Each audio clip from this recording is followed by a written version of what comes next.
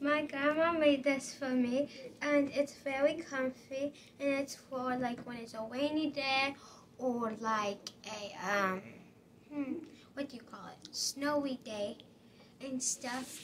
And it's so pretty.